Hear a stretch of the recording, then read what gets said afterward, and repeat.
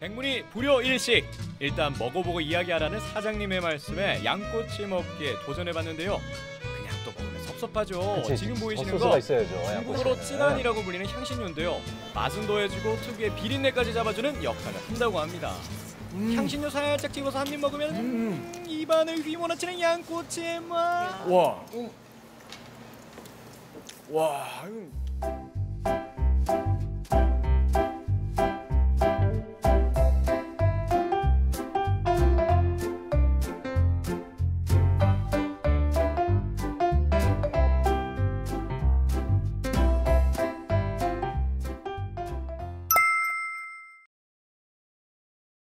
여기는 전 그 중국 대륙을 아우르는 모든 요리가 다 있는 곳. 한 번 빠지면 헤어나올 수 없다는 마성의 그 이름. 지금까지의 매운맛은 잊어라. 불을 지필 극강의 매운맛이 온다. 굉장히 인기죠. 마라, 마라 요리. 제가 이걸 지금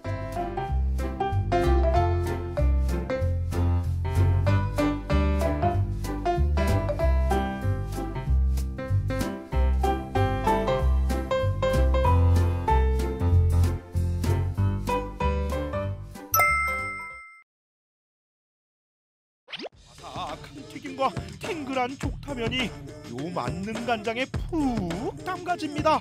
벌써부터 맛있어. 목구멍으로 이렇게 식도로 확 내려가는 이 느낌. 너무 훌륭해요. 걸림이 하나도 없어. 거침이 하나도 없어. 거칠거리지가 않아. 표면이 너무 아름다워.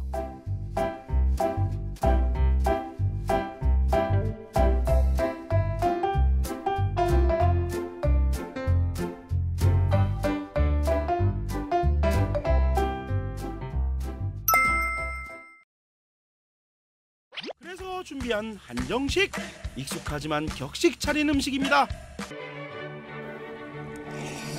시원하게 들이키는 그 물의 물에. 맛이 있잖아요.